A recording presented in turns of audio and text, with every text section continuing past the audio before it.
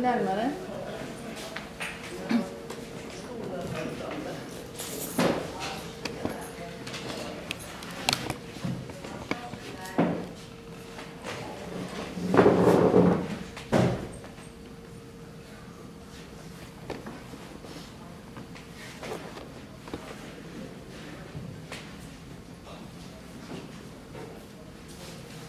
Det är den här. Turkiska föreningen har möte med en författare från Turkiet. Fältbiologerna har möte. Så Nord EU har möte. Det är många som slåss. Så, hinder på en gång. Det är, det är tråkigt, här kan man göra något annat.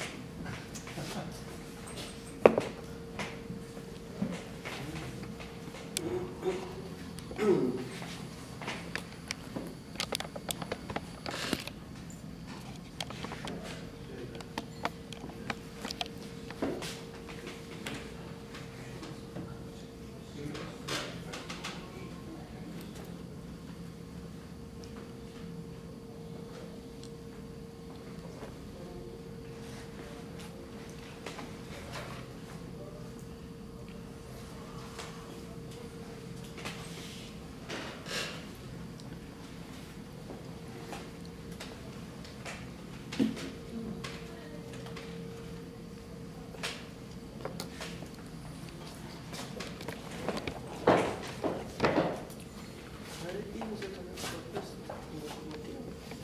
Mm. Det är låst.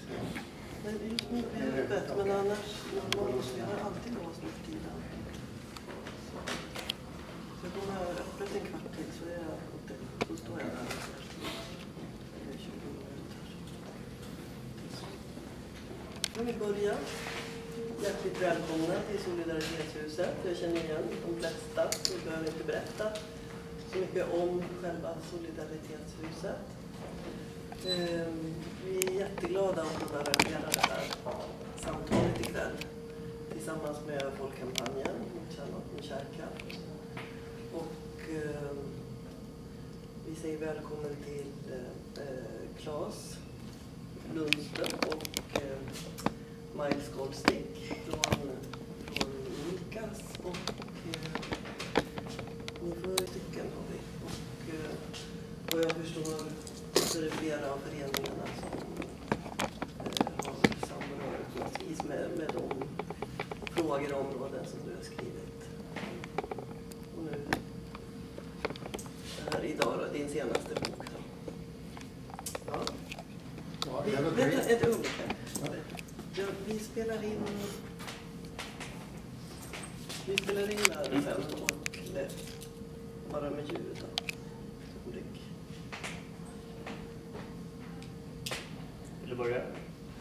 Ja, jag tänkte jag börjar med att säga några få ord om dig, för dig säger lite mer. Jag vill säga att Claes har ett, ett väldigt stor erfarenhet. Uh, jag skulle säga på engelska, uh, prolific writer. Han har skrivit oerhört mycket. Och en, en stor talang måste jag säga, tycker jag, efter att ha läst hans bok och sett att han har varit uh, till Pennsylvania ett par gånger och skrivit om Three Mile Island och, åkte Kyoto i Finland och nu uranbrytning. Och vi i Folkkampanjen har inte fått så mycket kontakt med dig så det är jätte, jättebra. Uh, om du då säger lite till kanske om dig. Mm. Jo, nej. Jag, eh, jag kom igång och började frilansa som journalist för drygt tio år sedan. Och har eh, till stor del ägnat mig åt eh, sociala frågor, framförallt Latinamerika men även Sydostasien och eh, Nya Zeeland.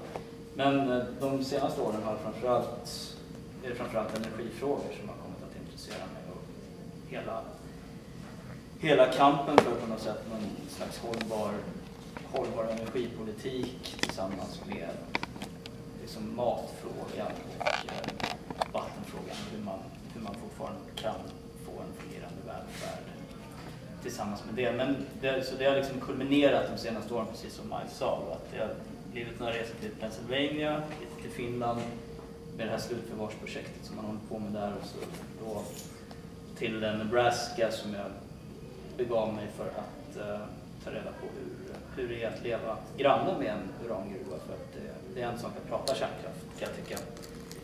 Men uh, jag tycker att det ändå var intressant att eh, få veta hur det faktiskt är liksom när man kommer ner till vad det faktiskt handlar om i kärnkraftsfrågorna. Det är ju uranet och hur det hämtas upp och hur den processen går till.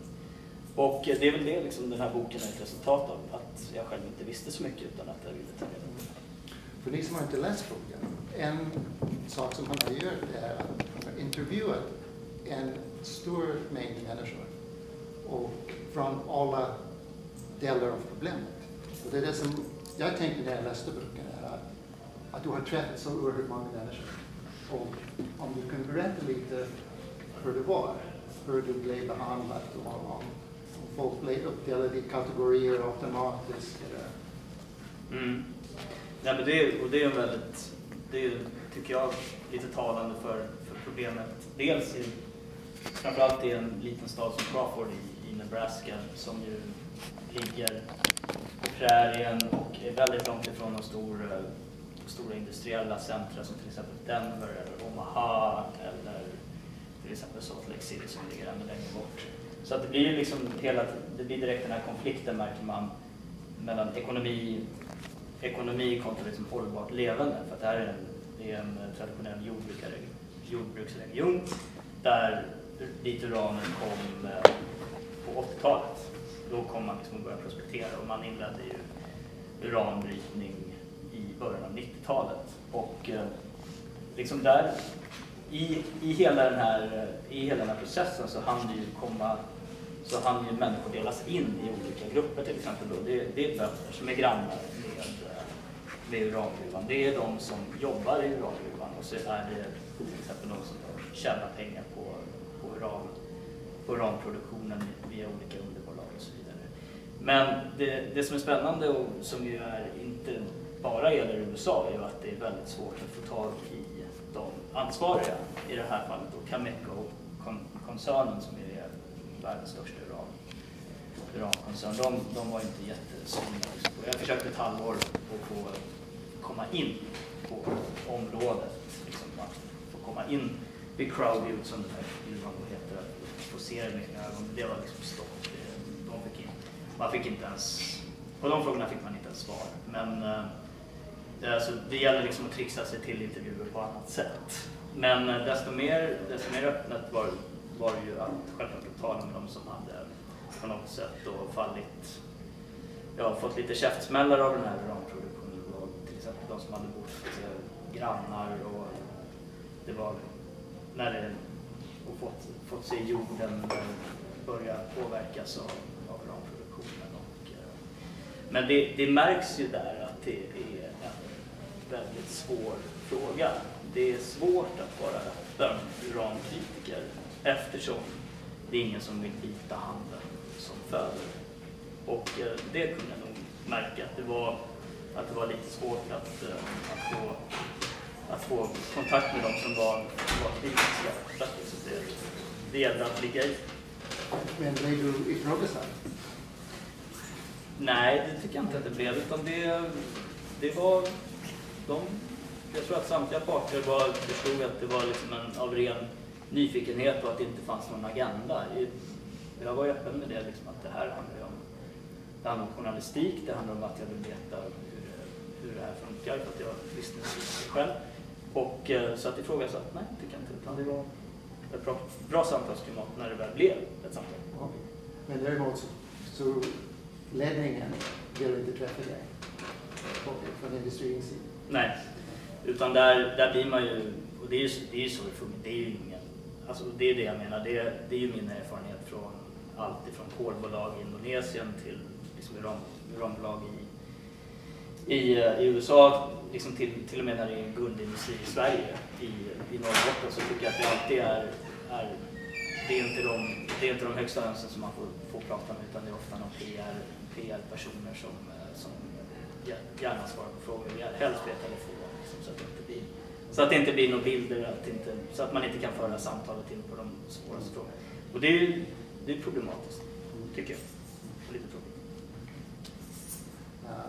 Men när det gäller människor, är det någonting som särskilt slog dig bland de här som problemet? Ja, ja men, absolut. Och det, det tror jag framgår om man läser, om man läser boken att det, det är några, det är några öden som har som ju alltid kommer finnas med, med mig och det, det handlar framförallt om eh, eh, jordbrukarparet där ett plötsligt dödsfall äger, äger rum inom en timme och där, där, där den här änkan som nu kallar sig uranänkan men som liksom börjar, börjar lägga det här pusslet och börjar förstå att eh, de här djuren som dog för att de bodde grannar med, de var liksom närmaste grannar till urangruvan. Och hur, hur alla de här löftena från, från gruvbolaget liksom börjar raseras och hon börjar nästan förstå att det här, att en, en fullt frisk, fullt frisk eh, persons välstånd och hälsa liksom kunde raseras inom loppet av, av bara några år och att han sen liksom dog på allting. Men det, det ödet var, det var väldigt starkt och påverkade mig mycket. Just därför att den här personen nu får lida, lida mycket socialt av att ha tagit steget och liksom bli en urankritiker i den här stan. Och det har gjort att liksom familj har tagit avstånd. Eh, det är väldigt svårt att, eh, att hålla kontakt med släktingar, Eh, till och med besöka närstående när de, eh, när de är på sjukhus visar det sig. Och det, det tycker jag var, det säger ju en del om liksom, hela den här industrins liksom, avigsidor och hur, hur pass mycket som den här liksom, uranbrytningen påverkar livet liksom ovanför ytan och liksom socialt. Mm. Eh, det som jag också tänkte mycket på när jag läste boken var vad det innebär för Sverige. Och så samtidigt så, nu när du pratar så funderar jag på om du ser något, några kulturella skillnader mellan hur en så svår fråga behandlas här jämfört med i USA. Så både ja och nej skulle jag säga. Det, dels tycker jag att det är, det, jag tycker att konflikten mellan till exempel liksom rurala regioner och eh, liksom urbana, att även här i Sverige så när jag har bevakat, de senaste åren har jag bevakat mycket NATO-frågan och samemarker uppe i Norrbotten, hur man liksom har vapen, man har vapentester och, och NATO-övningar på på, liksom, på samemarker och hur det, hur det påverkas och på något sätt hur, hur man tar för givet att de här personerna, alltså samerna då, att de bara ska finna sig i det på något sätt. Att det, det här är en, att det är en kultur, precis som du var. Och eh, jag tycker att där, i det, i det hänseendet så tycker jag att det, det är lite samma sak. Att man tycker att det här är en icke-fråga. Just för att det här är ingenting, uran, uranutvinning i Nebraska, det är, det är inget som syns i, i de liksom, nationella medierna. Därför att om man ser nu under, under den pågående liksom, val, valkampanjen så är det är mycket person och det är, mycket, det är väldigt mycket kust, tycker jag, i, i fallet med USA. Att det, man, man koncentrerar sig väldigt mycket på storstäder och eh, journalister gör liksom inte jobbet att, att åka ut och för att verkligen ta reda på hur saker och ting ligger till i sak. Och i Sverige kan jag tycka att det har varit, har varit lite likadant att man eh, att man liksom glömmer att gå till kärnan, att gå till sakens kärna, att gå till botten med det. Men självklart så är det ju helt olika, olika sätt att uh, diskutera de här frågorna i Sverige än i USA. Jag tycker att i USA finns det ju absolut mycket mer litteratur om, eh, om liksom ur, uranproduktionen och dels för att de har haft en uranproduktion som ju är liksom storskalig naturligtvis. Men i Sverige tycker jag ändå att man har varit lite naiva och det har skrivits bra bra grejer om, eh, om uranutvinning och, och det, har, det finns väldigt många människor som vet väldigt mycket om alla de här projekten som, som har liksom varit ganska nära förestående uran, uranbrytning i Sverige. Jag tycker fortfarande att kärnkraftsfrågan den tror man liksom, det har bara med kärnkraft, kärnkraftsanläggningen att göra. Och då glömmer man bort liksom var uranet kommer. Och det, det, där kan jag tycka att det skiljer sig lite från mellan USA och Sverige. Så i USA så är man, känner man till, men i, menar du, i Sverige så är det mindre känt. Det är en del av kärnbränslekedjan ja. Det skulle jag säga, det är nog min upplevelse. Att jag tycker nog att man är nog lite mer ärliga där. Man, ja, det är, man, där får man säga, ja men uran är smutsigt men vi, we need it, liksom. vi behöver det. Och, eh, men i Sverige, så, vi har ju inte haft någon, vi har inte haft någon egen uranutvinning och därför tror jag att man liksom glömmer ju bort att det här måste ju komma från någonstans. Utan man tror bara att det finns en fin marknad där varifrån man hämtar uran. Och, eh, och, och att, att det inte är som, som eh, uranproduktionen var när det var som smutsigast på liksom 40 och 50-talet. I viss mån så kanske det inte är det i USA längre. Men följderna efter den, liksom den uranruschen som ägde rum i framförallt New Mexico i, i den amerikanska västern som jag också kom in på i, i boken. Det, det borde ju vara tillräckligt för att se att det här är, det här är en industri som är till, den är ju så pass smutsig och den, är, den sätter så pass mycket på spel. Så att det, det borde ställa väldigt många frågor. Och eh, där kan man ju ställa den gamla tidens uranutvinning till, till liksom den senaste där, man, där det inte är öppna dagbrott utan det är väldigt mycket att man, man eh, för in vatten och mycket sker liksom un- under jorden. Men eh, det är ju tydligt att det, framförallt inom forskarvärlden så finns det en, så har det ju börjat hända saker. Man börjar verkligen komma fram med fakta nu att det här, det håller ju inte. Att det, det här är ju också väldigt, väldigt skadligt. Mm. Jo, det påminner mig nu när vi pratar om det, att eh, i Östersundområdet så har det pågått letning efter uran. Mm. Och uh, det var ett stort motstånd. Har du varit där uppe och berättat om. Jag har inte hunnit dit än. Jag hoppas. Men nu har jag inte sagt någonting om mig, men jag jobbar för Miljörörelsens kärnavfallssekretariat som är ett samarbete mellan Folkkampanjen och Jörgens vänner. Och bland annat så har vi hjälpt till att producera en film om just letning efter uran i uh, Östersundområdet, om bergen faller sönder. Du får en kopia. Tack så hemskt mycket. Tack. Uh, nu ska du få... Läskigt. Tack så mycket. Uh, nu får du den här istället som är en bättre version. Så. Ja, där det finns uh, med engelsk text och uh, utan engelsk text. Mm. Och den, just den skivan är lite skadad. Okej, ja, men har jag skrivit här. Men om det, om det är någon som vill ha en kopia efteråt så... den skadades. Vet, vet, då vet ni att den finns. Ja. Uh, men det var ju oerhört intressant att, att få reda på att, att du har inte varit där uppe så det kanske finns en intresse så småningom. Men där har väl, där har väl liksom samtalet varit det här, det vanliga då, att det är, det är ju jobben, det. Jag stänger av det här. Nu är den avstängd. Ja. Nej, att det, var, att det också har varit jobben kontra liksom, miljön. Att det, blir, att det blir den här ständiga frågan även i Östersund. Kan jag tänka mig. Jag är inte lika insatt som Nej, men, precis. men att, det, att det är precis som, och det är ju, det är ju min erfarenhet också, att om det är någonting som, som alltid nämns i, eh, i fallet med liksom miljöskadlig gruvbrytning så är det ju att nej, men det ger ju i alla fall jobb. Det, och det är ju någonting, det argumentet har ju börjat liksom rinna Cameco-koncernen ur händerna just för att det har börjat sägas upp folk och att just uran, uranproduktionen är liksom lite på, den är lite på nedgång globalt och framförallt i USA och där har människor nu sagts upp. Jag fick ett mejl från en, från en person, en källa i Crawford som sa att folk har börjat flytta därifrån och att, eh, att inte, ens, eh, inte ens de här som har jobb längre har börjat. Eh, även där har det liksom börjat puttra nu. Så att. Mm. Ja, men det, det känns ändå som att det händer någonting. Men eh, tills, tills liksom folk sitter med effekten av uranbrytning så, har, så funkar ju alltid argumentet jobben på något sätt. Så. Och det, det, där, eh, det lilla jag läste om Östersund och uranutvinningen där, det är just att det, men det ska ge jobb i en, eh, i en, liksom, i en region där arbetslösheten är, är utbredd. Jo, och det finns en väldigt stort motstånd där också. Mm. Uh, men du pratat med många som jobbar uh, på olika sätt i industrin.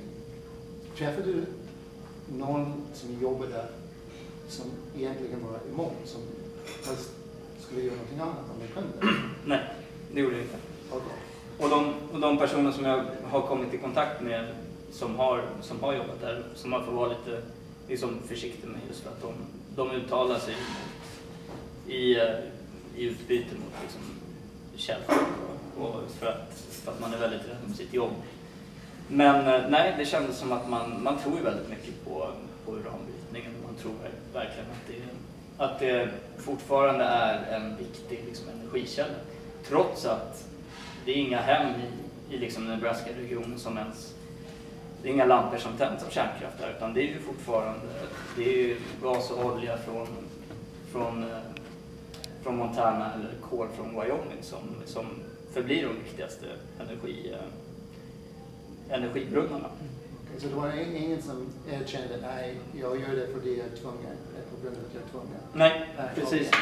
Men det är ett skillnad mellan uh, norra Saskatchewan, jag är kanadensare från Mm. början och har jobbat med uranbrytningsfrågan där. Och, och då, ursprungsbefolkningen som har väldigt lite att välja mellan, det de väldigt många som egentligen skulle helst inte vara Mm. tvungna Just att det. jobba där. Men Just det. som säger så att ja, jag vill helst inte, men det finns ingenting annat. Då. Mm. Men det är, nog, det är också för att där, det måste ju vara en, en annan förutsättning också, för där finns det kanske, där finns det ju mer jobb. Ja. Men i, i Crawford är det, där- vi betalar 100 jobb här, alltså det, är, det är ju inte jättemycket. Och eh, det är ju det är väldigt, eh, de flesta är väldigt välutbildade, det är väldigt många som kommer utifrån och jobbar, som, som bor på annan ort men liksom bor, bor i Crawford och jobbar under några månaders tid och så åker man hem. Så att de här, alltså om man, med risk för att låta liksom, eh, nedslående, men det är inte alls meningen, men enkla gruvjobben, de verkar ju inte finnas kvar längre, utan nu är det, det är väldigt mycket teknik. Det är ju väldigt mycket teknologi, så att jobben blir ju inte så många. Nu när du nämner teknologi så är det frågan, uh, tror du att teknologin kan lösa alla problem? Nej, gud nej, det tror jag inte. Det tror jag inte. Jag tror det krävs mer än, mer än bara teknologi för. Jag tror att mycket är alltså en, en inställningsfråga också. Att eh, det gäller nog att gå tillbaka och göra om och göra rätt på något sätt och inte, inte upprepa. Alltså, det blir, två fel gör ju inte ett rätt på något sätt. Och det, jag, tror att, jag tror att just eh, i gruv, gruvbranschen så, och i kärnkraft, kärnkraftsindustri i, synnerhet så tycker jag att tek, teknologi är ju någon form av religion på något sätt. Den här, hela, hela tron på att ja, men det kan, nej men det alltså Cameco-koncernen sitter ju och ljuger på något sätt när, de, när jag frågar dem om deras miljö, deras miljörecord, vad man säger, alltså deras eh, historia. Och, nej men vi, vi är helt fläckfria, säger de. Och de verkligen tror på det själva. Men det finns ju, det går ju att leta upp i offentliga arkiv att de har ju blivit anmälda mer än 75, 75 gånger för olika liksom, miljöövertramp, varav några liksom renderade i, i viten och skadestånd. Så att hela, hela den här inställningen som kommer med teknologin, att vi håller på med någonting som är så säkert, då gör jag liksom att jag tror på det själv. Och det tror jag på. Jo, jag kan också säga att jag själv var med i en rättegång mot uh, Cameco i Kanada. Och då hade de, som du skriver också i din bok, att de att halterna av olika radioaktiva ämnen och jag vet inte om du nämner tungmetaller också, men de överstiger gränsnivåerna. Och du har skrivit några, på några ställen att, att, att uh, det har visat sig att nivåerna har överskridit, överskridit tillåtlighets. Mm. Jo. Och så i norra Saskatchewan då, så en gruva som, ja egentligen var det inte Cameco, det var det företaget som köpte Cameco, så att det var innan Cameco egentligen, men uh, Men det är då var det olagligt förstås. Och då, när det kom till uh, en rättegång, så på grund av att det var delvis ägt av staten, så hade staten gått in och stoppat rättegången. Så att uh, Delstatsregeringen eller liksom den federala? Uh, det var båda, men det var delstatsregeringen som... Uh, och beordrat. Mm. Som, som de skrev till, uh, vad heter det, domaren, the judge. Ja. Att, uh, det heter på engelska, they ordered a stay of proceedings. Mm. Och uh, vi som satt med där och när det var tur och så läser han upp det och så går han vidare till nästa så var det ingen som förstod. Så, så var vi tvungna att avbryta, uh, kan du förklara vad som hände? Och då förklarade domaren att han fick ett brev från regeringen som sa att han får inte driva, han får inte. Jag som trodde Kanada hade liksom en, en oberoende, ett oberoende rättssystem. Men det kanske de inte har i alla lägen. Ja, inte i det här fallet så ville de inte driva mot sig själva. Mm. Men det, visst är, för visst är det just i, i den delstaten som du pratar om, som, som Saskatchewan, som, som Cameco har byggt upp sitt imperium? Ja, det är det. Precis. Och det är väldigt, väldigt intressant. Ja, det är det. Och det var efter att jag läste en bok att jag var in på Camecos hemsida och tittade hur de presenterar gruvan som du skriver om. Ja. Och det är precis som du uh, skrev och så såg jag också att de lyfter fram ursprungsbefolkning som har börjat jobba i gruvan. Mm. Så tittade jag där och så såg jag en bild av uh, en man som jag brukade leka med som baby. som jobbar där nu? Som jobbar där nu, som är 35 år och jag så länge sedan. Jo, men jag tyckte det var väldigt synd för det, hans föräldrar kämpade emot så hårt. Ja. Och, och, och hur svårt det måste vara för, för dem nu när en son... Uh, men han bor inte i Crawford? Nej, nej, nej. Han, det här är i norra Saskatchewan. Ja, det är där. Ja, i norra Saskatchewan. Mm. Så det var en, en uh, familj som jag bodde tillsammans med som uh, gjorde civil olydnad Mm. mot uranbrytningen och hade fått ett litet barn uh, uh, året innan det här civil olydnadsaktionsblockaden. Mm. Och nu han, uh, som vuxen, jobbar. Fast man går ju emot sina föräldrar, det känns ju lite så. Ja. Eller hur? man vill ju göra det. Ja. Nej, men det, är, det är väldigt spännande. Men just, just i Crowbutte och den gruvan, så, där är ju absolut inte... De har ju verkligen... De påstår att man gör väldigt mycket jobb för, för liksom civilsamhället. Man, man stödjer brandkårer, men det vanliga är på något sätt att man, man stödjer fritidsgårdar och fotbollsmatcher.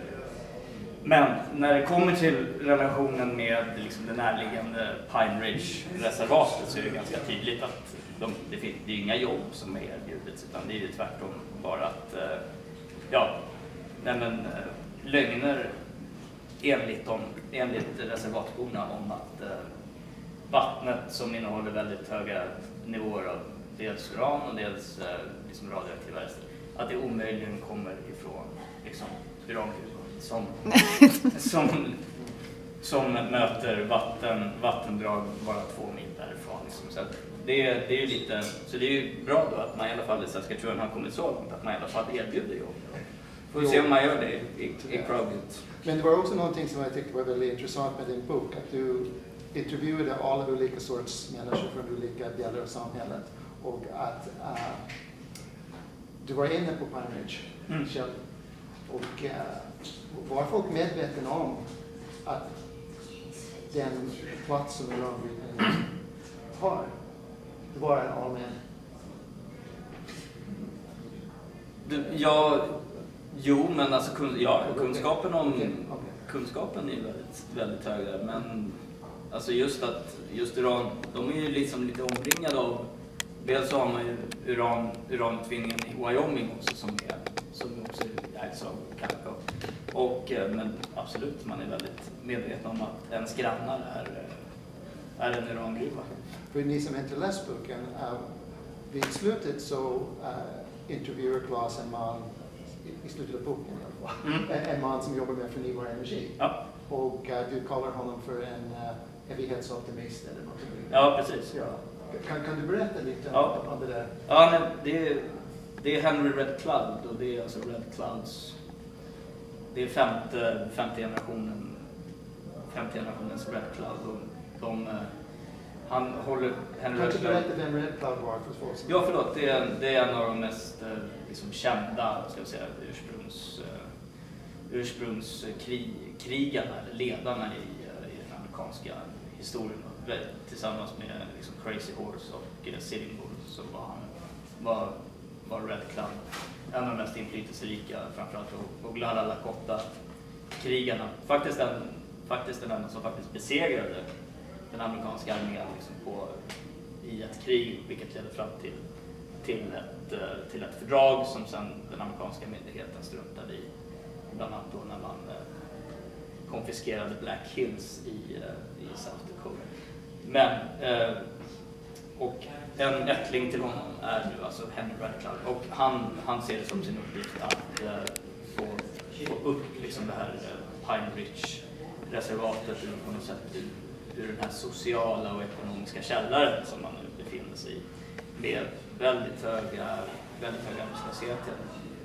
Siffrorna varierar men det är ingen som är mindre, lägre än 75 procent arbetslöshet. Den lägsta barnadödligheten, den lägsta eh, liksom, den högsta eh, barnadödligheten liksom, tillsammans med Haiti och eh, Nicaragua. Det är på den nivån som vi pratar om i, i eh, Pioneers som, är, som bor grannar med, med, eh, med Crowd, Men där, eh, det pågår jätteintressanta saker i Pine Det är verkligen ingen resa som frammanar depression utan det är väldigt spännande att följa framförallt då Red Clouds arbete med, med solenergi och ny, med att bygga nya hus med eh, framförallt då lera. För att de här husen som man har fått från amerikanska, från den amerikanska staten, de är väldigt dålig kvalitet, många har radon, väldigt många får cancer och så vidare. Så att, eh, och jag tyckte att han, han kallar sig själv då för en sol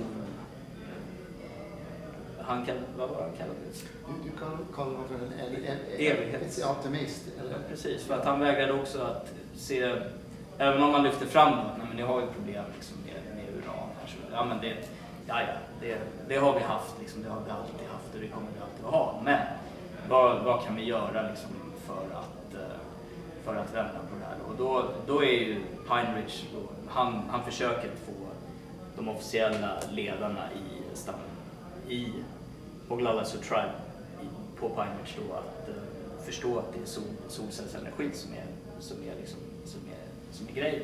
Och det går rätt bra. Det är väldigt många hus som har, som har infört uh, solenergi. Och det blir ju snyggt liksom när, att man försöker att skapa ett, liksom ett alternativt hållbart samhälle på bara några mil ifrån uh, eh, en av, de, en av USAs liksom viktigaste urangruvor.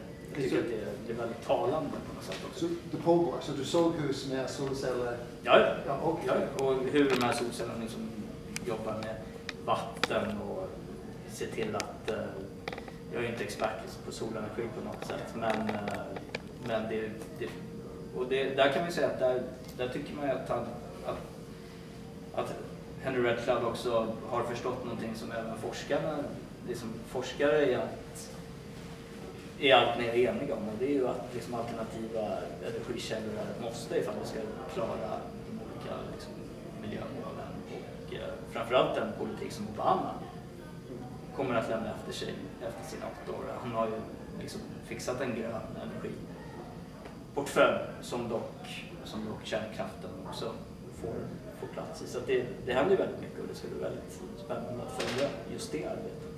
Det var någonting annat i det här projektet med Henry Redcloud som du berättade om. Att han uh, fick hjälp av folk utifrån mm. som kom och var det sommarjobb eller praktik mm. eller vad var det för? Precis. Okay. Ja, det är väldigt, han har ju han har påbörjat en massa projekt med, alltså det är ju en, en klassisk eh, liksom pionjär på något sätt i, eh, i ordets rätta bemärkelse. Att, uh, han tar hjälp från olika, olika forskarlag från universitet men framförallt från volontärer från olika delar USA som kom, som, när jag var där, det var ju, måste ha varit en vanlig vecka för att det var ju personer från olika delar av USA. Och eh, det, det Henry Club tyckte var absolut viktigast var ju att eh, personer, dels att personer möts och att man lär känna varandra. Men att den här nidbilden av amerikanska reservat, att den på något sätt eh, slås ner. Att man faktiskt ser att det, det är inte bara alkoholism, det är inte bara arbetslöshet utan att det faktiskt är väldigt intressanta projekt som man även hoppas kunna liksom exportera till USA i stort. Sen får vi se. Det är i alla fall drömmen, sen får vi se ifall det, ifall det är möjligt. Är det någon som har en fråga? Ska vi bara fortsätta? Ja.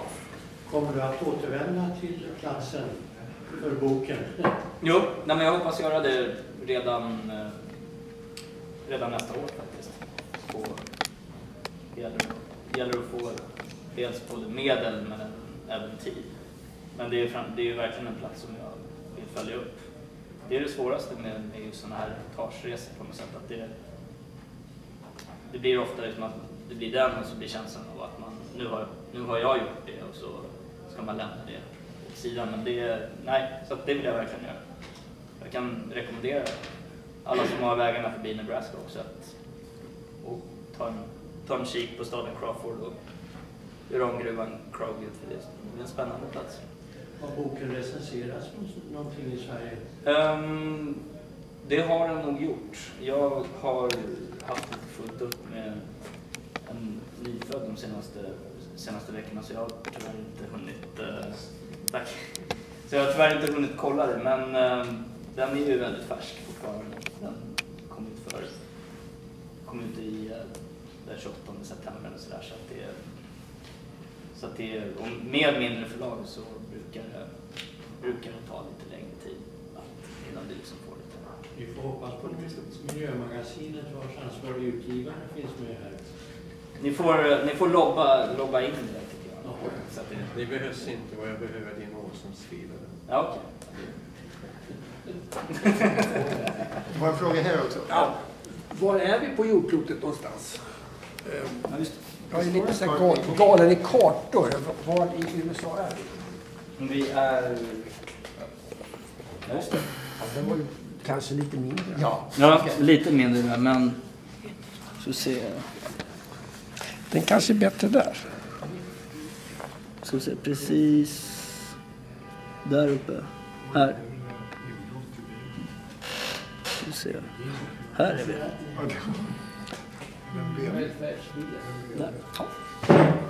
Där. Peka ut till... Men egentligen så är det ju väldigt svårt att eh, ordna liv för folk på ett sånt plats, urangruv omgivning. Mm. Så egentligen eh, rent vetenskapligt borde man ju ge dem ett annat plats som är ren. Med de som bor där? Ja, för det finns ju ingen chans att de kommer få eh, tusentals år framför där. De här Nej. eh, stammen, som, Ja, ur, urfolksstammen. Ja, jo men det, det är ju inte bara de heller utan det är ju det är, det är även eh, alltså människor som har, som har bott i generationer sedan alltså 1800-talet. Det, är- där är också väldigt intressant just att den här konflikten mellan dels Eh, ursprungsfolk och eh, vita amerikaner. För att i, i den här regionen så har de som har varit fiender liksom, historiskt, väldigt mycket så här ranchfolk och, eh, och Glada Lakota, de har börjat göra liksom gemensam sak mot, mot uranplaner i, i Black Hills som, som är en det är där Mount Rushmore ligger, det är väldigt så här turist det är jättefina skogar som, eh, som av Oglala Lakota-folket kallas heliga och som, eh, som, blev, eh, som, som de blev bestulna på under 1800-talet. Bland annat för att, för att gruvruschen skulle komma in och då, där finns det väldiga uranfyndigheter. Så att det, det finns, precis som du säger så finns det ju planer på, på att utvidga den här uranruschen och det ser man ju även i, i New Mexico, Colorado och Arizona så har ju när uran, uranpriserna var som högst 2015 och när liksom minnet efter Fukushima hade lagt sig lite grann så var ju uranprospektörerna ute igen. Så att eh, man vet ju inte riktigt vad som kommer hända där. Men det är återigen en fråga som, som jag också tyckte, jag tycker är inne på något väldigt spännande. Det är så här, människans plats på något sätt. Så här, vem kom först? Var det uranet eller var det människan? Vilka har rätt att vara där på något sätt? Så här, ska man inte hitta en ny plats till ursprungsfolken och så vidare. Och det är ju den eviga frågan och jag vet inte riktigt vad som är... Det är, det är, personligen har jag inget intresse av att sitta som en domare och liksom utfärda vad som är rätt och fel. Men det är väldigt intressant att, eh, att vi här har en industri och en, liksom en, det är faktiskt ett, liksom ett grundämne, uran. Det finns ju naturligt i, i jorden på något sätt, som kan orsaka så pass mycket liksom, skada och som kan orsaka så pass mycket uppbrott och göra att, att platser blir obeboeliga i liksom, hundratusentals år. Det är jäkligt spännande liksom, grunden att bara liksom, eh, studera så. Men jag tycker det är en jättespännande fråga som verkligen sätter liksom, människa kontra industri och, och så vidare. Jag vet inte. Edvard, Ja, när startade själva gruvan? Därför att du sa att det var inget dagbrott. Nej precis, utan det är, det är den här, det är en, ehm, alltså man använder sig av en så här in situ, in situ leach som det heter. Och det, in situ lakning betyder att man, att man går ner med väldigt mycket sötvatten. Man, liksom, man pumpar ut det och så får man ut uranet på det sättet. Så att mycket sker ju liksom under. Men det, och där kommer man in på den andra, en annan fråga som är väldigt viktig och det är ju vattnet. För att man använder ju enorma mängder vatten. Det är, I minuten, det har varit väldigt svårt att få, få liksom siffror på, det vet inte jag ifall du kan. Men eh, jag vet att NRC, eh, USAs nukleära regulatory, alltså de här atomkommissionen skulle man kunna säga. De, I någon rapport så läste jag att eh, de hade räknat med att det var ungefär 100 liter vatten i minuten som görs av med. Liksom. Och då snackar vi att det finns kanske 5000 brunnar på det här området. Och, så att det är ju inte dagbrott just där. Och eh, 50 procent av jordens, liksom, uran, jordens urangruvor, de, eh, de bryts inte konventionellt längre. Utan det, det, är, eh, det är via ISM-metoden Och det är just att då blir det färre jobb. Men det, det går väldigt hårt åt naturen och miljön på ett väldigt långsiktigt sätt just för att du liksom gröper ur. Du kramar ju ur liksom jordlagret på dess, vatten och grundvatten. Och här råkar ju urangruvan också ligga ovanpå en av jordens största eh, grundvattenmagasin, Ogallala. Och där är också att till uranbolagets eh, Camecos fördel att det inte riktigt är fastställt huruvida de använder sig av vatten från den här, utan de påstår att de har liksom egna sötvatten. Men det är ju spännande då att eh, USAs, eh, USAs miljödepartement, eh, EPA, skulle man kunna säga att det är Miljö Protection Agency, en federal myndighet som överser miljöfrågor, har, har konstaterat att uranhalterna i den här grundvattenkällan som förser miljontals människor med dricksvatten har spår på uranhalter som är 90 gånger de tillåtna nu de senaste åren. Så att man pratar ju om, en geolog som jag intervjuar i den här boken, han pratar ju också om att hela den här regionens eh, som beboelig plats, det, den är ju på spel. Alltså. Just för att eh, uran, uranet tar vatten i eh, sådana enorma mängder vatten i, eh, under sin produktion och att eh, den här gamla jordbrukarregionen också kommer antagligen inte att kunna samsas med den här storskaliga uranen uranutvinningen. Men det, vi får, väl, får vänta lite och se. Det är fortfarande inte riktigt klart huruvida man hur Cameco kan expandera som de vill. Man vill ju in under stadskärnan nu för att där finns det väldiga, det är lite det där Malmberget-Kiruna-komplexet eh, på något sätt. Att man tänker väl att man kan flytta stan kanske. Men jag kan tillägga att, att Cameco har sökt tillstånd i olika delar av världen för just den här metoden och inte fått tillstånd för precis de, på grund av precis de problem som Claes pratar om. Att det blir så stor uh, risk för förorening av vatten. Mm. Men i de områden så har det varit uh, mer tätt bebyggt områden i närheten. Så att det är också ett problem att de utsätter folk som inte har en politisk makt att stoppa det. Just. Du säger att de uranbrytningen och Kanada som kom tillbaka till USA, hur är det själva, de tog, de tar uran, vad gör de? De anrik, vad gör de? Varför Precis, ja, men det är just för att det är Kanadas uran vad jag har förstått och Cameco, de, de skeppar det här och sen så har man, sen så har man en hamn i eh, Vancouver, fick jag, fick jag förstå, där man, eh, där man liksom vidare transporterar, där man vidare förbereder inför vidare transport. Och sen säljs det på, på liksom öppen marknad. Så att USA köper ju i många, många lägen tillbaka sitt, sitt eget uran. Mm. Fraktas från USA till Kanada och Och sen, och sen köps tillbaka. till- Precis. Jo, det kemisk form måste ändras innan det kan användas i, i bränsle. Och Cameco har ett uh, anläggning i Kanada som konverterar. Så, ja, och så, så det till. Det kan till och med vara så illa som att det konverteras på den här anläggningen i Port Hope, Ontario. Och så skickas det till Europa att tillverka bränslekutsar. Och så bränslekutsarna tillbaka till USA. Så vill det kunna vara. Är det någon som är insatt exakt vilken uran använder vi i Sverige just nu? Är det Putins uran eller, eller eh, Fotens uran tror jag är intressant, men framförallt, eh, alltså SKB menar ju att vi har, det är framförallt från Australien och Kanada. Ja. Men om det är från Kanada då, då är det ju spännande, för då kanske det är något liksom crowdgjort-uran som har tagit sig in i den här mixen, eftersom det, det lär väl knappast gå att fastslå varifrån ett visst, eh, en viss uranmängd, om det tas och konverteras liksom tillsammans, då är det omöjligt att konstatera varifrån uranet har kommit. Jo, För att det var ju en, eh, en skandal som Swedwatch eh, avslöjade för några år sedan och det var ju just att Sverige importerade liksom smutsuran från Namibia där, där det framställdes väldigt eh, med undermåliga arbetsvillkor och det var liksom gräsliga omständigheter på något sätt. Så att, men man vill ju hävda att det är framförallt i Australien och Kanada. jo, och det, det här är svårt. Ingen har lyckats få fram en kontrakt Eh, en, som visar varifrån man köper. Och eh, uh, SKB hänvisar till eh, företagssekretess.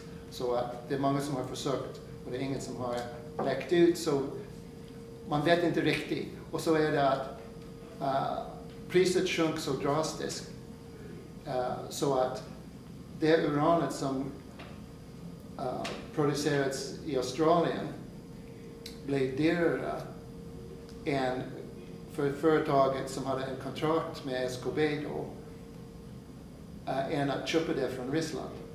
Så att det var i massmedia här att det företaget som hade en kontrakt med uh, SKB då, istället för att leverera från Australien, de levererade från uh, Ryssland, för då kunde man köpa billigare istället för att toppköp. Och så är det precis som man säger, att, att efter det kommer till en anläggning där det blir uh, anrikat till exempel, då, då får in den här anrikningsanläggningen uran från kanske en tiotal olika länder. Men Sverige ligger i Västerås I, I Västerås så är det en bränslefabrik. och det används det är uran som är själva, det kommer uran Ja, och det uranet som kommer till bränslefabriken, det kommer från en anrikningsanläggning. Och anrikningsanläggningen kan få det från överallt. Så alla anrikningsanläggningar är direkt anknutet till kärnvapen också. Så det går inte att skilja mellan uh, civil och militärt. Uh, Och uh, för, för, om det är någon som inte sett så har Eduardo tagit fram den här uh, kärnbränslekedjan som ligger på bordet och som försöker visa. Så Sverige gör en riktning själv eller i, hur, hur står det till? Eh, vem, gör- hur, hur anrikar man uran? Man gör i Sverige eller man köper redan anrikat? Så som jag har förstått det, så SKB då som har ansvar för att köpa in uh, råvaran så att säga, de gör inte egentligen en avtal om malm eller uran från en gruva. De gör ett avtal om ett viss mängd anrikat uran som ska användas som bränsle. Och så, så är det ett uh, paketpris så att säga. Det- uh, att det, hjälp, det är som att man, man går inte till Ikea och köper lite uh, virke. Man köper en säng eller en, en skrivbord. Eller. Så att SKB köper inte virke, de köper en säng. Liksom. De, de köper uh, bränsle för en reaktor. Vad, vad gör de i Västerås egentligen? Ja, i- i de gör Västerås- kärnbränsle av anrikat Ja. I, I Västerås så De får de... Ja, de får in det här materialet som heter uranhexafluorid som är uh, en vätska. Uh, när den är nedkyld. Och så blir den, vid rumstemperatur så blir det en gas. I alla fall, de kyler ner det och så pressar de ner till så att det blir som ceramiska hård material som blir bränslekutsar. Och så stoppar de, uh, så skickas det till ett annat ställe att stoppa in i rör. Uh, eh, och, och jag vet inte om de stoppar in det i Västerås nu, men så, förut så gjorde de inte det. Så att det finns inte den möjlighet i Sverige att konvertera till den form som kan användas i Västerås. Men sen det som har kommit fram, eh, som vi inte diskuterar så mycket i föreningen heller, att eh, just nu Ukraina, de där rektorerna i Ukraina, det är, eh, de får kärnbränsle från Västerås. Och det är... Spännande. Ja, och det, vi är med i en konflikt alltså. Mm. Ja, verkligen. Och när vi frågade, Blix, när vi frågade om en konflikt och vad hände om krig Mm. och flygplanet skulle till en här på Mm. eller man bombar en, Ja, vad händer då? ja det förbjuds.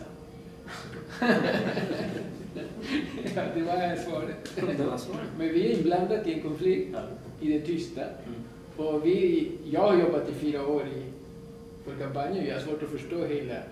Att, en, folk, det är så svårt att sätta sig in. Ja. Så egentligen, det som jag säger till... Eh, jag har bott i Italien i många år. Och fransmännen har försökt att pracka på kärnkraften i, Italien. Mm. För att eh, balansera deras skulder och de får massa. Och den som lyckades att stoppa eh, det var, en, det var fem olika eh, folkomröstningar. Och bland annat om Berlusconi skulle bli Mm. straffbar eller inte, den där lagen.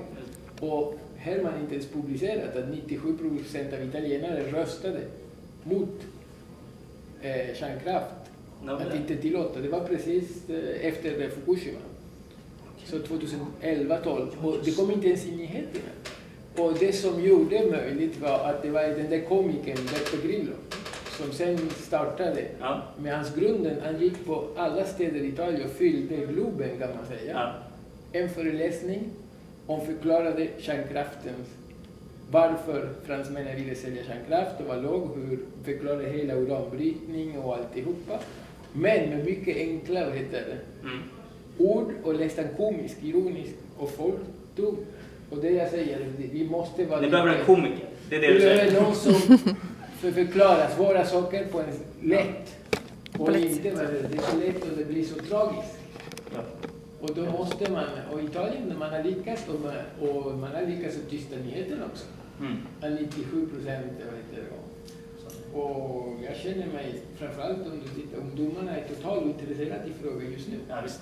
Totalt, vad heter det, Mm. och det är klimat, klimat hela tiden. Mm. Och själva, så det, det är därför jag tycker det, din, det som jag uppskattade, jag läser inte mycket böcker heller, men din bok blev så lättläst. Ja, kul. Jag började och så var det, det var så, vad heter det, och det är precis i rätt riktning, att det ska vara inte massa det, fara, eller det ska vara lätt och, Mm. och jag tyckte det var mycket bra skrivet på det viset. Jag läste bara första bi- biten om uran, jag har inte läst de andra. Mm, okej. Men det var lättläst och framförallt, ja, det, jag tycker vi är på rätt spår att komma. Är det flera frågor? Ser man någon som inte ställt en fråga än? Nej? Alla måste ställa frågor. Okej, men för det, det är så. Okej. Ja, jag, jag eh, vet ju att i USA de har mycket bättre skydd eh, på att få kompensationer Mm. ifall man råkar ut för radioaktivitet. Mm. Och har de här indianerna en massa kompensationer och alla det här urfolket? Nej. Därför att det finns ingen...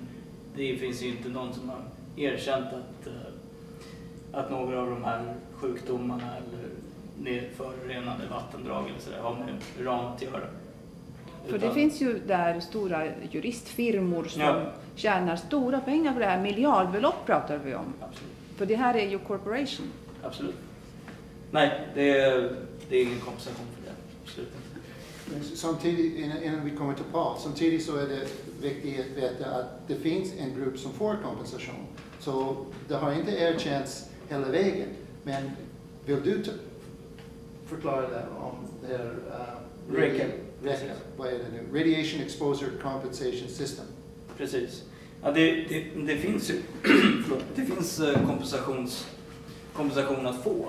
Om, för att staten, USA, har erkänt att, eh, att, att det var problem framförallt under den andra uranruschen som, eh, som varade under kalla kriget och fram till, fram till eh, 71 menar man att eh, nya direktiv antogs i, inom, inom uranindustrin och att det blev säkrare för arbetare. Så därför så finns det många som, eh, som har kunnat eh, före detta, före detta gruvarbetare Ja precis, här har vi dem. Det står downwinder, on-site participant, uranium miner, uranium miller. Ni ser, det är, det är personer som på, antingen har bott där, där det har förekommit kärnvapen, kärnvapentester och man har arbetat i någon eh, urankvarn eller någon urangruva eller eh, jobbat eh, med transporter av, av, olika, av olika radioaktiva, radioaktiva ämnen så finns det alltså en, en möj, i alla fall en möjlighet att, eh, att, kräva, att kräva skadestånd från staten. Och vad jag har förstått så var den på en miljon kronor. Vad jag har förstått. För att jag intervjuade några som en organisation som heter Post, alltså efter, efter 71 heter den. Därför att de menar att eh, man visst blev sjuk efter 1971 när de här nya reglerna antogs då. Och de här människorna håller ju på att dö medan de, de kämpar för just upprättelse. Därför att staten har ju dels då gått med på att, eh, den amerikanska staten har gått med på att det finns, att de här fem kategorierna eh, absolut kan ha fått en, en massa sjukdomar och problem till följd av, till följd av kärnvapen och eh, uranbrytning. Men även, men, eh, men även efter så, så menar man ju att eh, de här säkerhetsföreskrifterna inte, inte liksom har följts. Så jag prat, en jag pratade med sa att nej, men vi fick en pappers... Hon jobbade i urankvarnen så det var ju liksom urandamm överallt. Och, nej, de fick en en, sån här, en skyddsmask i veckan och så skulle, nej, men det tog en timme innan den var liksom helt förstoppad. Och av ett 20-tal kända uransjukdomar, liksom sjukdomar som har till följd av eh, uranbrytning och kärnvapentester och så vidare, så är det faktiskt bara åtta som har erkänts av den amerikanska staten som du kan, om du är berättigad, då, så kan du köpa söka kompensation. Så att det går, men det är väldigt svårt. Och framförallt inte för de här människorna i Pine för att där, där talar vi om en uranbrytning som började sen och man menar att, eh, att det finns naturligt uran i marken. Jag har en till viktig fråga. Vi tar den efter, efter Paul då. Ja, eh, det, jag tycker det var ett bra samtal det här. På något sätt så blir man glad över att nästa generation Miles tar vid stafettpinnen från det du eh, forskade om och skrev om Dödens sten tillsammans med Mats Törnqvist. Eh, så att det är jätteintressant det här Claes, att du intresserar dig för frågan för att vi kämpar ju i folkkampanjen hela tiden för bra argument. Mm. Och det var intressant att du nämnde en del om eh, arbetarskyddet eller bristen på, på miljöskydd för arbetarna. Mm. Jag har själv besökt Rössinggruvan i Namibia och det var ju hårresande att allt saknades. Eh, de hade inte ens munskydd. De hade lurar för öronen av någon anledning. Men det är, det är en eh, open pit i Rössinggruvan. Och visst var det den som, eh, som Sverige hade? Ja, Sverige Precis. hade det. Ja, men då vet ju du jag minns när vår minister Birgitta Dahl berättade i riksdagen om var vi fick vårt uran ifrån på mm. den tiden, det var ju bland annat Rössing. Mm. Men hon sa också att det går inte att härleda uranet till mängden och så vidare från olika ställen. Precis. bland annat var det så. Eh, så att just frågan om arbetarskyddet är oerhört väsentlig i, i kampen mot kärnkraften och kärnvapnen. Den andra frågan gäller transporterna, som Mites expert på. Mm. Och vi har ju nyligen fått eh, en ny båt här, Sig Sigrid istället för Sigurd som fraktar uran på härsan och tvärsan i, i den känsliga Östersjön bland annat och genom Öresund. Eh, om nu eh, uranet fraktas bort ifrån Vancouver eh, det måste finnas liknande båtar som eh, går i skytteltrafik eh, mellan Kanada, USA och resten av världen. Eh, skrivs det mycket om transportriskerna för att de är påtagliga över hela världen. Jag vet att uh, McPhee på The New Yorker skrev om det där. En, eh, en väldigt bra. Just om transportarbetarna som uh, på koltåg och uh, nu har jag glömt. John McPhee heter men först så, så är det inte specialbyggt fartyg som behövs för att transportera det här kemisk spår. Det, det, är, det är en pulver i, i tunnor uh, och uh, det är inte som andra kärnbränsle som är så oerhört farlig jämfört med uh, den här så kallade yellow cake. Så, så att, och, och, så det här material som också transporteras in till Västerås, så man behöver ingen specialbyggt fartyg, så det går med vanlig transport kan man säga. Mm.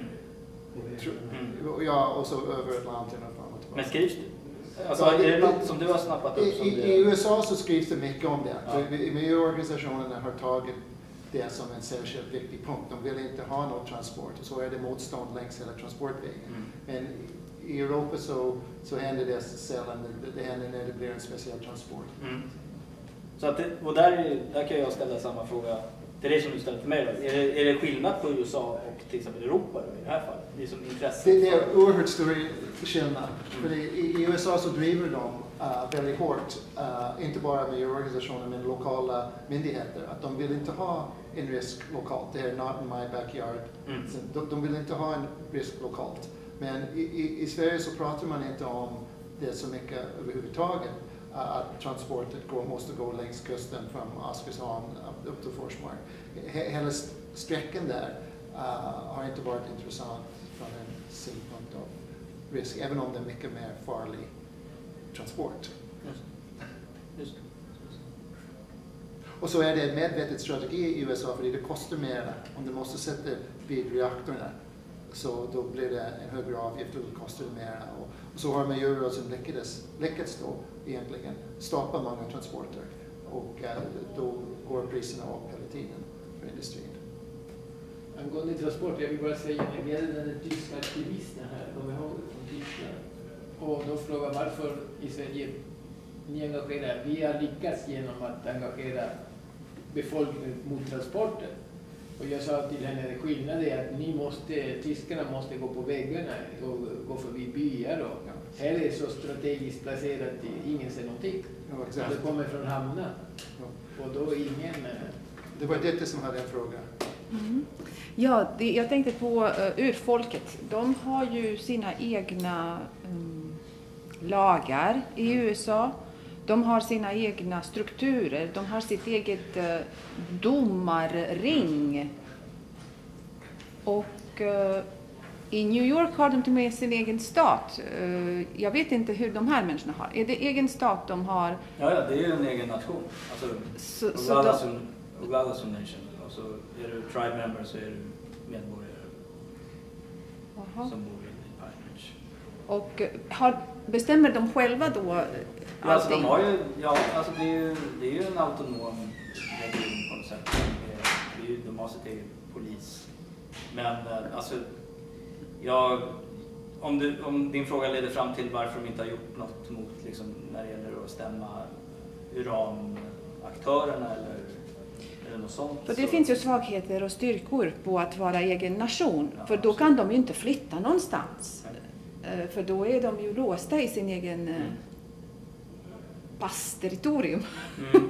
Men jag tror att den här flytta är också så här, alltså, det gjorde man ju, man flyttade, tvångsförflyttade framförallt då, ur, ursprungsbefolkningen, det var ju på 1800-talet där. Men just, just Lakota och uh, det här Pine Ridge har ju gjort en väldigt stor sak av att det är deras mark. Därför att de fick ett tillnärmelsevis ganska stort område och de blev lovade att få fortsätta att använda sina jaktmarker och ha bison, bisonoxen och, eh, och även fiska i, i de här floderna som det är. Men det har ju hela tiden liksom krympt, krympt, krympt. Och inställningen från många miljöaktivister som där är ju tyvärr att de vill ju bara att vi ska dö.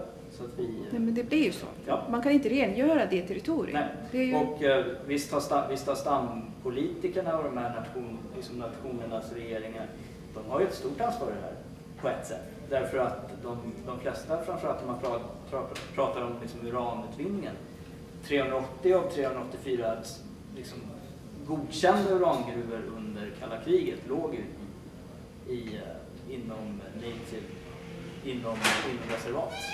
Så att där måste det ha funnits att man fick ett okej på det. Men eh, där tycker jag att det är intressant att få in det ungefär som en kasino. Alltså, det, det handlar om pengar och vill man bli självständig måste du ha en industri som kan generera i pengar. Vad sa du, 330 av 380? 380 och 384 låg inom eh, reservatsgränsen. Men gud Då. Av de godkända. Sen finns det ju tusentals urangruvor som inte var godkända och som nu står och läcker. Så att det är ju en industri som har väldigt mycket på, väldigt mycket på sitt samvete. Men eh, absolut, det, finns en, eh, det, finns, det är intressant att prata om eh, liksom vem som har ansvar och hur man kan... Eh, men det är, alkohol är till exempel inte tillåtet i Pine Ridge därför att alkoholismen är, är, ett så stort problem. Men där är ju många då som menar att ja, men där kan vi få till alkohol, alkoholförsäljning så kan vi få in liksom pengar på det. Och så, så gick väl tänket med urangruvor också. Men nu för tiden så tror jag att det är få reservat och framförallt nere i New Mexico och som Navajo som jag tror skulle godkänna uranbrytning idag. Om det, om det var svar på din fråga. Om vi ska börja runda av. Mm. Uh, Okej, Ja. Jag tycker det som du skrev om på, var det på 80-talet eller så? Hur har det gått? Hur har det gått med det som jag skrev om när jag först kom hit i mitten av 80-talet? Ja, uh, jag, jag tror att uran finns på kartan här, uh, inte på grund av mig, men på grund av uh, miljörörelsen. Att nu, nu kan jag säga att i miljörörelsen så är uran ett känt problem. Är ni överens med mig som har erfarenhet? Men att, att de, de flesta som har hängt med nu i folkkampanjen eller Jordens vänner, de vet att uranbrytning är ett problem. Och så. Uh, så det har varit framsteg, kan man säga. Så jag upplevde som du uh, uttryckte, att ingen, ingen visste, ingen kände, ingen vill prata om det. Men för det mesta så tror jag att det finns en medvetenhet i miljörörelsen som är bättre. Men jag tänkte också för dem där i Kanada. Aha, okej. Men ja, det, det är ganska tragiskt att uh, det är bara att inse att det pågår fortfarande. Uh, tyvärr. Det har varit, det, jag kan bara säga tragiskt. Att, så när jag var in eh, efter att jag läste boken och tittade på Chemicals hemsida och uh, men de, de senaste ett par åren så har jag inte fått med i detaljerna som jag gjorde förut. Men alla planerade gruvor, de öppnades.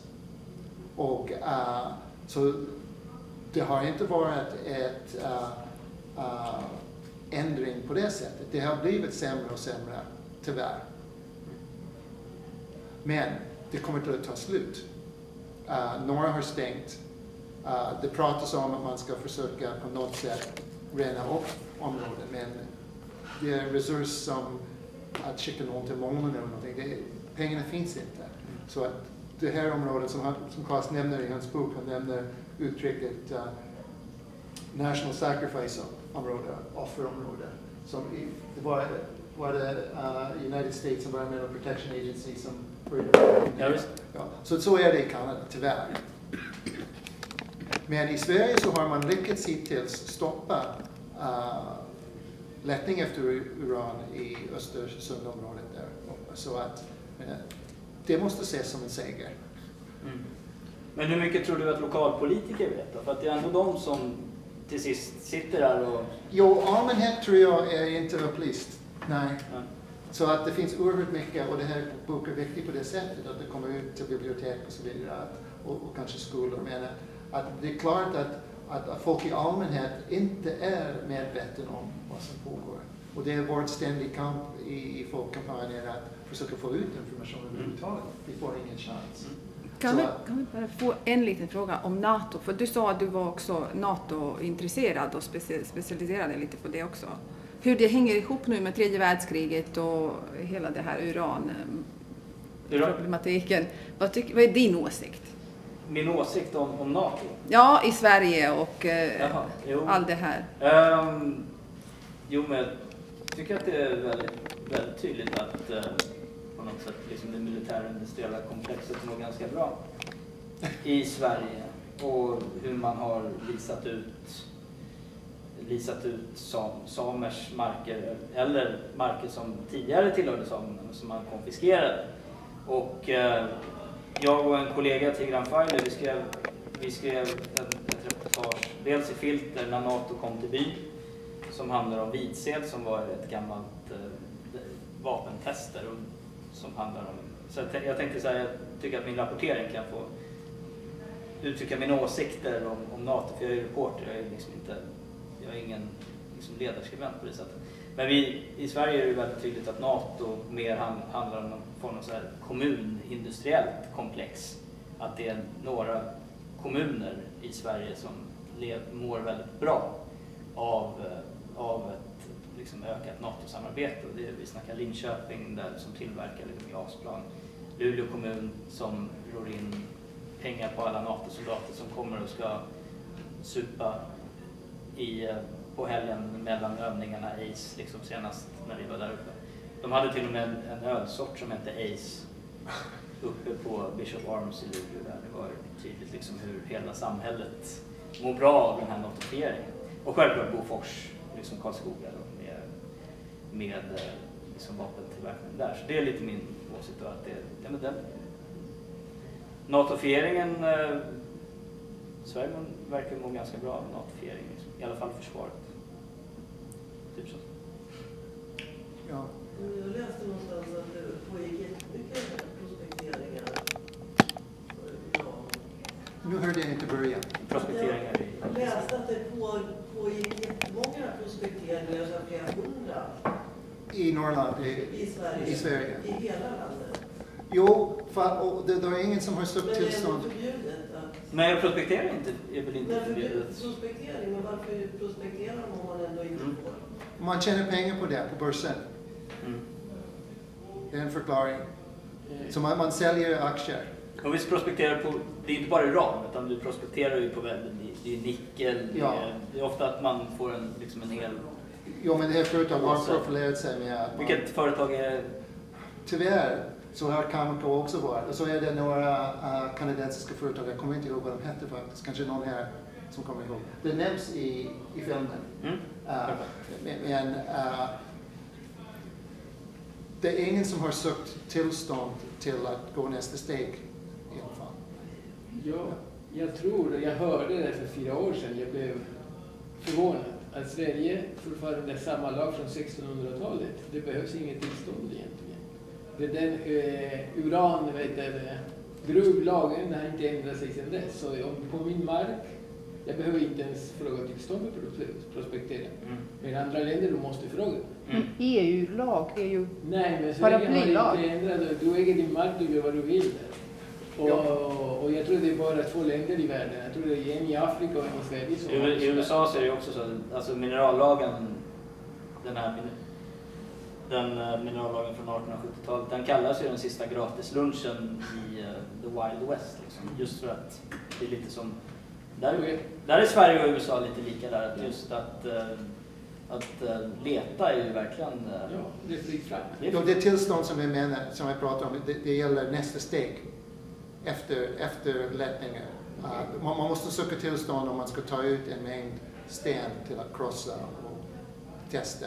Mm. Så, så för, första steget man borrar hål och, och, så efter det så tar man ut en, en, en stor mängd, ja, inte jättestor, kanske 3-4 kubikmeter sten.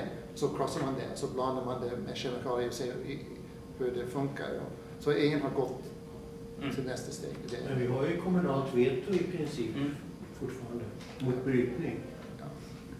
Så det, det, det, finns, det finns stor risk för de här företagen att de inte kommer få sitt tillstånd. Men vi skrev bara för ett eller två år sedan att om en kommun tillät att få upp, uh, säg 100 kilo, det är mycket, då kan man inte stoppa det som kommer därefter. Men frågan är vad, vad CETA och TTIP kommer göra? Alltså ifall den kan upphäva den kommunala liksom, Ja. Så där med, med nya handelsregler så kommer nya, kommer nya direktiv. Och uran kommer säkert fortsätta att, eller tror du inte det? Att det kommer fortsätta att pågå i Sverige? hittills så har det sänkt i takten på grund av att det är ingen kommun som har varit positivt till, till en brytning. Så då, men de som jobbar med frågan är säkert mer informerade. Men det är ju visst är det spännande? Man, man kan samtidigt vara liksom för kärnkraft men man vill inte ha uranbrytning nästgårds. Precis, det är en motsägelse. Men, men ska vi börja runda av här nu? Då, då rundar jag av med en sista fråga som börjar, ja. som börjar med för, din förord. Då, då skriver du vid slutet av förordet, ingen vet med säkerhet vad som kommer att hända härnäst. Så då frågar jag, vad, vad tror du? Du kanske inte vill svara på det, men du skriver att... Du menar i... Uh... Ja, i, i det här sammanhanget uh, som du skriver där. Nej, precis. Nej, men vad som kommer hända härnäst, det, det, det enda som är klart är att det finns väldigt många alternativ. Dels att, att Cameco kan, kan få, få igenom sin, uh, sitt, sitt tillstånd på en expanderad uran, uranbrytning fram till 2040.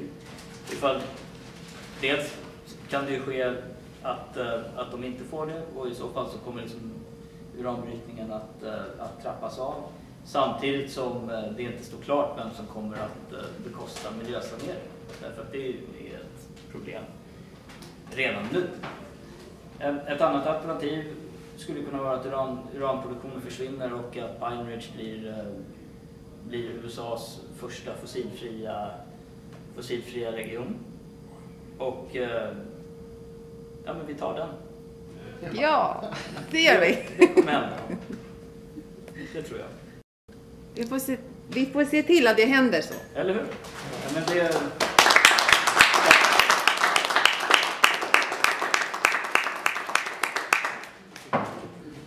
Ja, tack.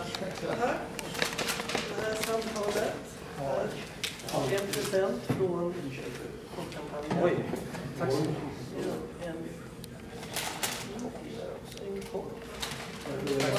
Tack så jättemycket. Jag är jätteglad att vi har spelat in det här också för jag tyckte det var ett väldigt intressant Ja, men Miles höll, han höll bra låda tycker jag. Ja, så jag är jätteglad att fler, fler kan få möjlighet att uh, lyssna. Du har fått sista huggen tror jag. Du kan ja. Jag också faktiskt. Också, du får den. Ja,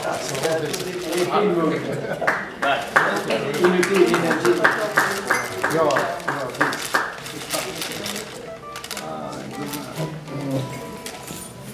Ja, och sen du hade lite böcker här och dela lite.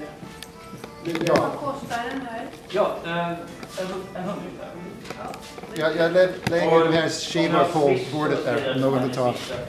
Jag tänker, eh, jag kommer köpa några stycken filterkampanj. Ja. Vi kan sälja vidare vissa batterier. Okej. Kul. Men jag skickar eh, pengar på... Du lämnar din... Vill du ha, vill du ha den på faktura? Ja, det är lika bra. Ja, du kan ju bara ge mig din... Alltså vilken adress du vill ha på den och, och sådär. Så. Skulle du kunna säga? Ja, visst. Jag är din. Jag kan...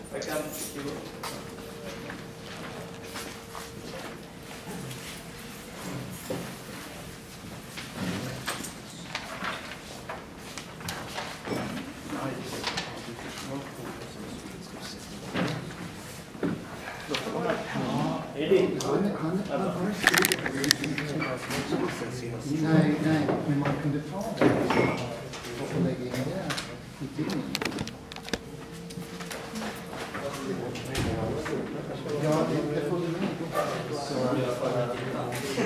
Men, men det finns på deras hemsida också. Det här finns... Ja, jo, men jag... Ja, det här var ännu bättre. Så kan du gärna skriva, skriva över det. Ja, jag tänkte att är Ja, det är Ja. Kom överens? Författarområdet. Ja, det var så. Och det är på 42 timmar. Ja, Fast det är, först är det någon... Ja, det kommer En bonusfråga till tittarna. Ja. Så Olkiluoto, de har ju kommit väldigt långt där eh, i jämförelse med svenska mm. slutförvarsbygget. Och du har varit där och sett? Mm. Jo, precis. Jag var där på en 2000, 13 eller 14, jag kommer inte riktigt ihåg. Fick följa med ner och eh, det var en sån här riggad tillställning där man fick se hur, hur långt de har kommit och, och jobbat och så. Och de sa ju då att de hade kommit väldigt långt och att eh, projektet, man trodde att man skulle kunna börja stoppa ner eh, använt kärnavfall inom tio år. Och de har ju inga samråd där. Här har, har vi samråd och miljödomstol, men de har bestämt redan att de bygger på Det bara. verkar, ju, det verkar ju vara så, men vad jag har förstått så verkar det ju ha funnits, dykt upp lite problem. Dels med tanke på den här Oljeloppet 3 som skulle byggas i samband. Och eh, som man förstod skulle kosta för att få in lite pengar till det här kärnavfallsbygget. Men det har ju stött på patrull och blivit väldigt mycket dyrare än vad man har trott. Så jag, min, den senaste uppdateringen vad jag har förstått från om om slutförvarsprojektet är att, eh, att det står lite stilla. Jaha, vad bra. Men dels, dels också för att, forsk, för att forskar, forskarkåren har ju börjat att kritisera KBS, KBS3-modellen väldigt, väldigt Metoden är helt eh, ifrågasatt från alla håll nu. Ja, och det var... Och det, det, det borde väl leda till att man stannar upp och kanske är det därför också. Att man känner att man inte har forskningens liksom, konsensus på det. Men det är en intressant fråga att fortsätta följa. Tack så jättemycket med goda nyheter igen. Tack.